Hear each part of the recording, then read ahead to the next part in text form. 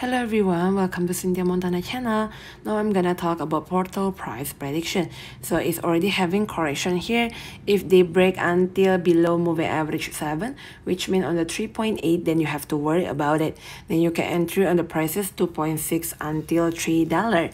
For the RSI stochastic, still natural position, but already having a red bar here. Like previous going so up 16 hour going so up to the 5.66 but now already dropped below the moving average 94.67 US dollar. Next move is at the moving average 7 3.85 US dollar. For the Bollinger Band here already break the upper band 4.69 US dollar. Next one is to the pink one side middle band 3.6019 US dollar. Okay the daily chart still finding a way but still on the downtrend line. They are trying to find either they want to go up or down but still as you can see here is already having a red bar. If the red bar already three or four then you have to attention on it. Then you can enter the market slightly on the 2.6 until 2.7 moving average for the one hour chart try to push it to this one.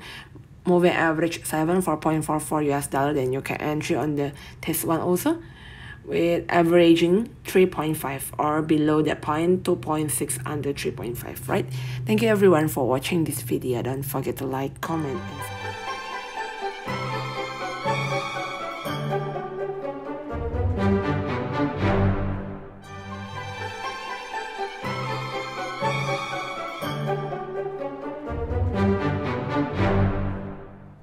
Everyone, welcome to Cynthia Montana channel.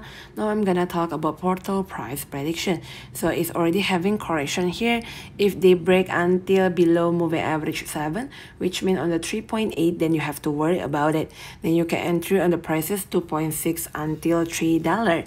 For the RSI stochastic, still natural position, but already having a red bar here. Like previous going so up 16 hour going so up to the 5.66 but now already dropped below the moving average 94.67 US dollar. Next move is at the moving average 7 3.85 US dollar.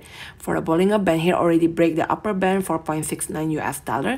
Next one is to the pink one side middle band 3.6019 US dollar okay the daily chart still finding a way but still on the downtrend line they are trying to find either they want to go up or down but still as you can see here is already having a red bar. If the red bar already three or four then you have to attention on it. Then you can enter the market slightly on the 2.6 until 2.7 moving average for the one hour chart try to push it to this one.